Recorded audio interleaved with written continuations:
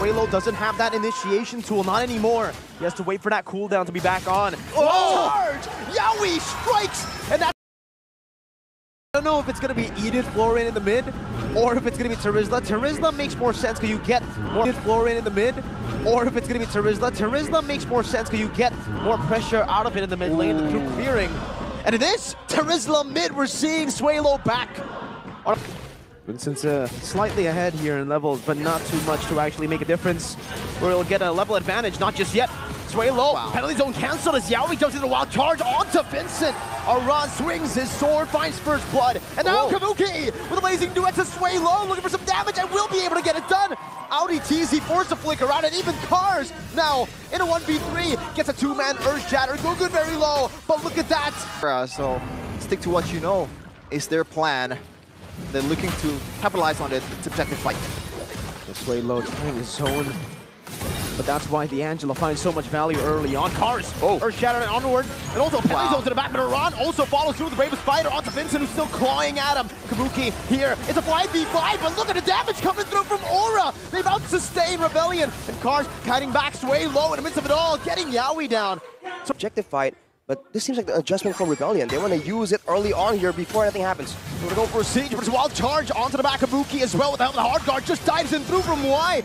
The boom already oh. used up in the boundary. Oh. Image will be used up. Advantage for Aura. That's a pick off and a Purify out of the penalty zone. That forces Suelo to be all alone. He's isolated completely. Flickers out late around the flicker and the stun. Yehezkiel picks up the kill and Kabuki Whoa. is the one chasing down oh, Onitizi. Difference. They're making sure that Kabuki has space to basic attack again and again throughout the whole engagement. And you give him enough time without any threat to, to zone him away. Whoa, look at this pickoff. A knock-up, a taunt into a wild charge as well, and Gukun just holding the back down all alone. Has the help of the hard guard as well to get out but onward, and the penalty zone onto him. Sway low, gets bursted down before anyone can do anything about it. But Aran will fall as well. Now Vincent looking for the execute, but Kabuki jumps into the battle rim image. And now with Gukun gone, you want to take this one. Red Tree on cooldown. Dangerous spot for Rebellion. Kabuki's on it, but there you go. Vincent waits for the timer, and now Yawi gets... Vincent Finished off the endless battle. Oh, penalty zone into the bush. They read it out. Aran gets caught. And now will just be bursted down by Moai, who's on a killing spree. Isolated by the barrier. Cars still in the midst of it all. That's under Fraser's trap, but Suelo is able to flicker out of it just in time. Cars, no immobility. Oh. He just runs at him. Once again, on the objectives. Well, this is more of a mid-game power spike for Rebellion, so they're trying to use it as much as possible. Seems like there's going to be a fight breaking out, though. Sway low, going aggressive. The zone dodged away from. The Lord reset it. And Gukun oh. wants to go for a fight, dashes forward, taunts Cars, but Suelo doesn't have that initiation tool, not anymore. He has to wait for that cooldown to be back on. Oh! Charge! Yawi strikes! And that's the follow-up from the back as well. Kabuki dealing some damage. Way isolated. Only trading the roamer as Cars is going to be all alone. Pops in Primal Wrath on Kabuki! Jumps into the Blazing Duet of the Appraisers. Wrath gets rid of Hawaii! In the back, Audi forced to flicker all the way. But now it's Vincent who's chasing him down. The light could pounce, chasing Kabuki. He does two damage. Yehezkiel oh! stunned up by Audi TZ. And Vincent they lose out on the durability battle, and now they secure the Lord. Even Kabuki right now, he's having a perfect game. 5-0-3, hasn't picked up my Rebellion just yet, but it looks like he's completely lost. It's hard to engage at this point. True.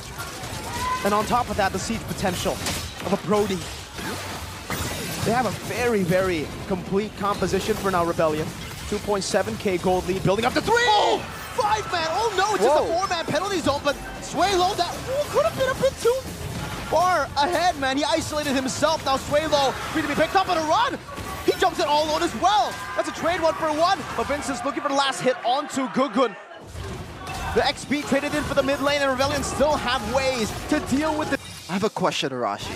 At this point, we've seen the man advantage. We've seen a lot of mistakes. I mean, oh! Meanwhile, though, another wild charge as Kabuki tries to deal with Suelo, but the healing is too much. Vincent now diving deep. Hard guard force in. Vincent running back. I think he was about oh. to run with a three-man. Stun in the back with the Bravest Fighter, but now gets taunted again, and the sustain is just ridiculous for Rebellion. They go all here. I think Aura has two solutions. Play the macro game, which they're trying to do right now with Yehezkiel on the Angela, or play a defensive game. They have a DPS advantage when it comes to Claude versus Brody, so if they can just use the audio spells defensively instead, they can maybe have something, but look at Yawi! Very, very low. Wild charge, stunning Vincent and Cars. Right to the back, battle mirror image. Placed out by Kabuki Vincent! Oh my goodness! Pouncing now again on the Lycan form! That's Yehezkiel in the back! Solo taken out by Moai and Auditizi. 4 for 0, only Aran, the last dragon, left to defend against four bulls charging down. Aran, the bravest fighter, instantly deleted. An unofficial maniac as the Blue Bulls charge through the base. 17 minutes. That's a lockdown on the Samus. And the XP lane is more of a Samus. And the XP lane is more of a skill matchup this time. Who wins that matchup? It's skill? Skill matchup? I would say it's a skill matchup. But I prefer using. Aura though. Whoa. Look at the pressure. Gugun going the long way around the cars. Gets a good petrify. Now the Lycan pounce. One more hit should do it with a retribution. Vincent secures first blood. And Aran is forced to use. The huge. Suelo can zone them. Aran doesn't have vengeance. Now the Black Dragon form with the hard card as well. They're forced out. Arano locked out by the penalty zone and just slide.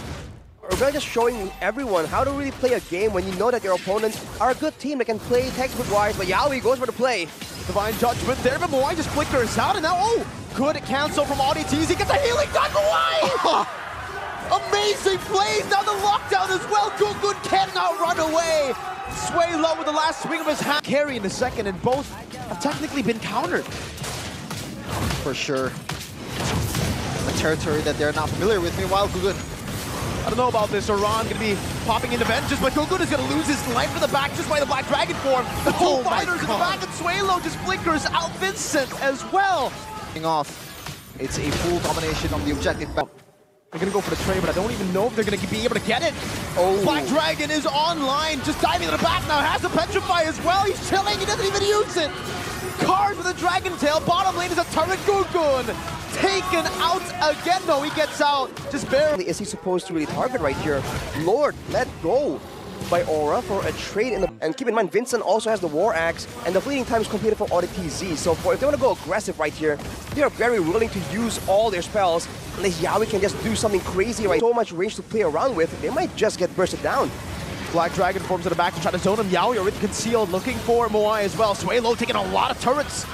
Turret shots there, but has the immortality. Yawi, oh, oh! penalty zone to stop him tracks. Moai just deals free damage to the back. Vincent, Lycan pounce. Even Kabuki with a hard guard can't really do much. Oh. He flickers forward, he gets a double kill, but then gets shredded down. Vincent again. It's a triple kill, looking for one last shot onto Orad, who's able to dash towards his base. But now that's one base turret down. Look at the mid lane. It's another falling, crumbling. And now it's Audi flickering forward to Arad. Vincent doesn't care. He'll take that damage and he'll just go straight for the base to get a clean sweep up against number three in the standings. The Dragons have been charged down by the Blue Bulls.